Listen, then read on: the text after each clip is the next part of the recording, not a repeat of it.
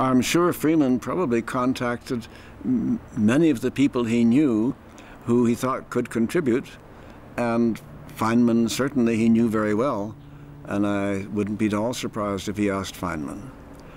Feynman tended to avoid such things mm, much more than I did, even.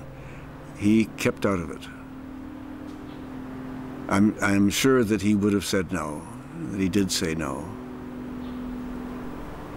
I think I saw a reference to something. He called he called it uh, "pie in the sky" was the phrase. Like. the pie in the sky. Yes, well, that could well be.